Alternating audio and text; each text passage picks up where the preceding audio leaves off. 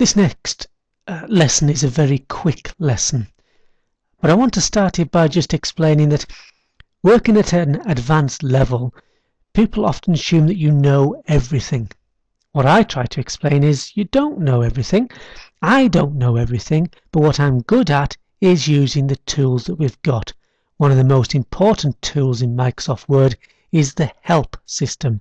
I use it extensively. You can't possibly remember everything. So a power user is somebody in my mind that knows how to use the help tool effectively. This lesson is not about using the help tool. You'll find another one of those um, elsewhere on my site. But what this is, is just to show you that I've used it to look up information about locking a field. And that's what this lesson is about, locking fields. The reason I used help for this I typed in lockup field and from the search results I found this bit of information and it's because to lock a field and I'll explain more about this as we go through the only way to do it is by using a keyboard shortcut Control F11 to unlock the field the only way is to use a keyboard shortcut Control Shift and F11 I always forget those so I need to be able to use help effectively in order to remember what those are but what does it mean, lock and unlock a field? And that's what we're going to look at next. This isn't particularly important on a table of data about rainfall. It would be much more important on perhaps um, budget data, for example.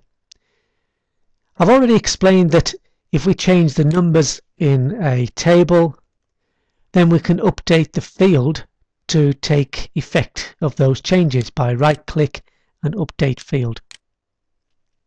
Sometimes you don't want people to be able to do that.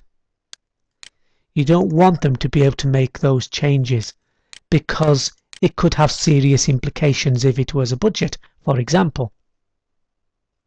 So we can lock a field to prevent that from happening.